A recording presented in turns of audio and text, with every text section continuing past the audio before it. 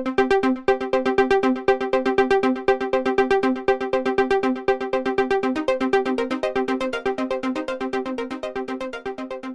that all the markers that have been looked at in the study, I showed some of them in the presentation, some I didn't have time to, either look equivalent or actually favor the new formulation of tenofovir. So for example, there's less albumin seen in the urine. There's less protein, uh, retinol binding protein, which has been suggested as a good marker for tubular uh, dysfunction.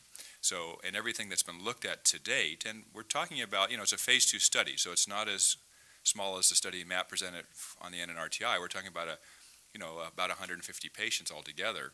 Uh, that uh, those markers actually favored the the um, the new formulation. What I would say is we should still be cautious. We need to follow up these early results with the phase three study, where 800 patients uh, will be uh, involved in it, and so we'll have many more patients to look at it.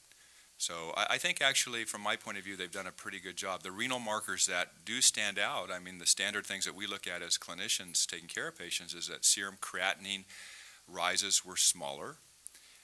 The estimated GFR based on that was uh, less impacted by the new formulation. So I think on balance, what you would, should take away from the presentation is that it appeared to be safer uh, to the kidney, and that is supported by the pharmacology. We know that by using this particular dosage in this formulation, the kidneys are seeing about 90% less tenofovir than they are in the currently available formulation.